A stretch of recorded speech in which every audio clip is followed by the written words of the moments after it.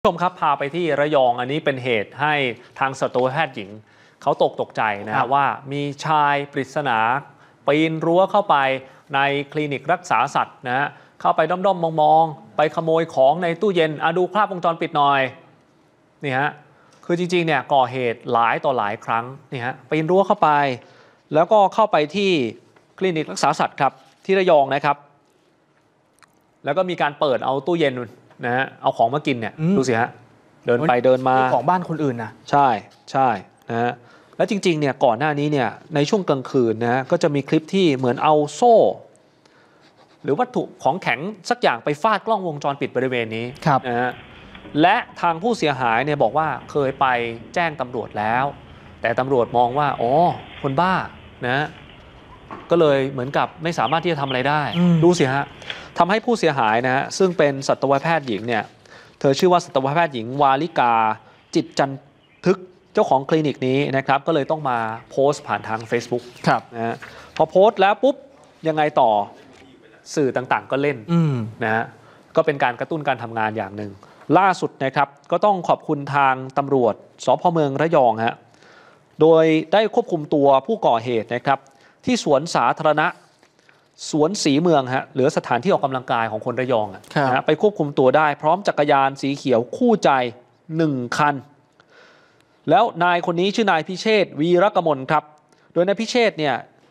ไม่มีที่อยู่เป็นหลักแหล่งค่ำไหนนอนนั่นนะพอไปเจอเพิงที่ไหนปุ๊บก็ไปนอนตรงนั้นนะครับเล่ร่อนไปเรื่อยๆ และรับสารภาพครับว่า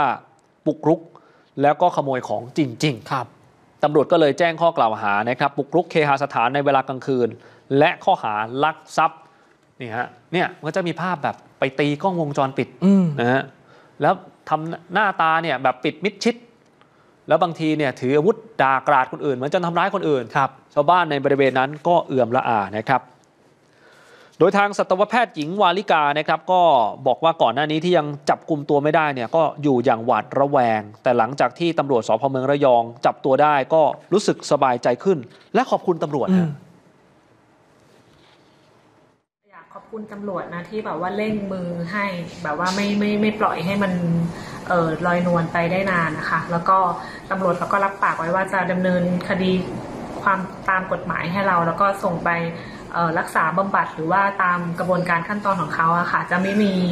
เอ่อให้คำมั่นกับเราว่าจะไม่มีการปล่อยออกมาลอยนวลแล้วก็รู้สึกสบายใจขึ้นในระดับหนึ่งค่ะ ก็รู้สึกสบายใจขึ้นนะฮะเพราะอะไรตอนแรกเนี่ยได้รับแจ้งไงว่าอืมเป็นคนสติไม่ดีครับตำรวจทำอะไรไม่ได้ เธอก็แปลกใจเสียฮะเออทั้งแปลกใจทั้งตกใจเนี่ยแล้วก็ไปทำลายกล้องวงจรปิดพยายามที่จะทำลาย แต่มันทำลายไม่ได้แต่มันแค่เสียหายอืมนี่ฮะ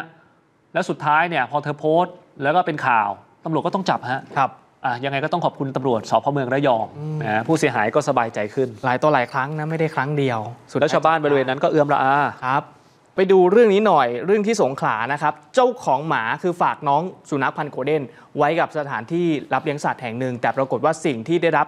น้องไม่อยู่เฉยครับ น้องแหกกรงออกมา แล้วกัดกินข้าวของในร้านจนพังหมดเลยครับ นี่ครับนี่คือวินาทีที่ เจ้าของโรงพยาบาลสัตว์ไปเจอโอ้โหน้องโกลเด้นอยู่ไม่สุขจริง ๆ เขาบอกว่าตอนแรกเนี่ยมีการปิดขังไว้ในกรงแล้วเนี่ยกรงเนี้ยคุณผู้ชม แต่สุดท้ายน้องแรงเยอะ น้องอยากจะออกมาสู่โลกภายนอก กัดกรงออกมา แล้วแทะของแถวนั้นจนพังเสียหายหมด หลายคนบอกโอ้โห